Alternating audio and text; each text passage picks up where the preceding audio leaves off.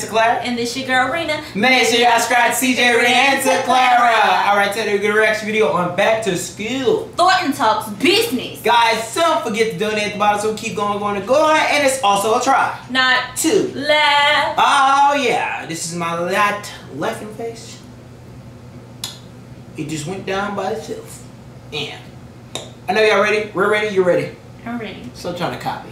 Let's get it. All right, settle down, people. We've got a lot to cover, and time is short.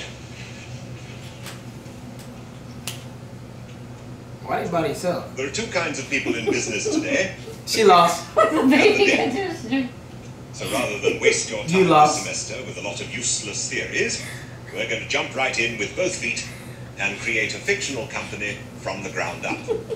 We'll construct our physical plant. We'll set up an efficient administrative and executive structure. Then we'll manufacture our product and market it. I think you'll find it very interesting and a lot of fun. So let's start by looking at construction costs of our new factory. Uh, what's the product? That is immaterial for the purposes of our discussion here, but if it makes you happy, let's say we're making tape recorders. Tape recorders? Are you kidding? The Japs will kill us on a labor course. Okay, fine. You Then lost. let's just say Oh, you lost they're first. widgets. I was laughing at the baby. What's a widget?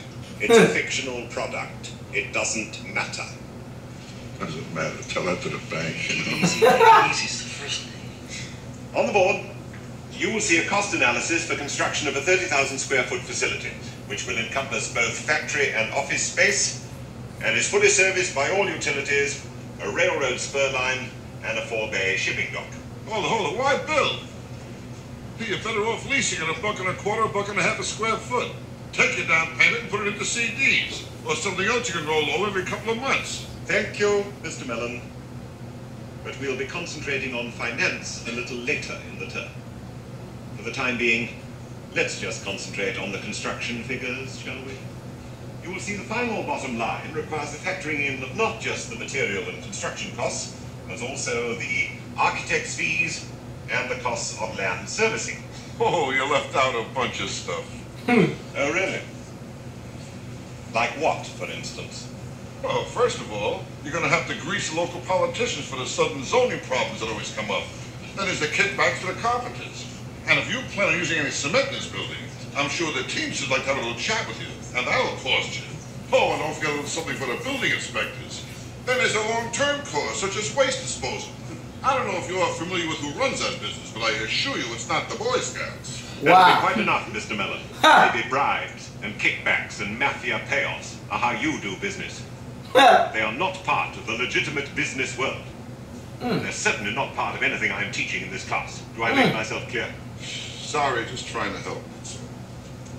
Now, notwithstanding Mr. Melon's input, the next question for us is where to build our factory. How about Fantasyland? Ah, wow. he said, "How about Fantasyland?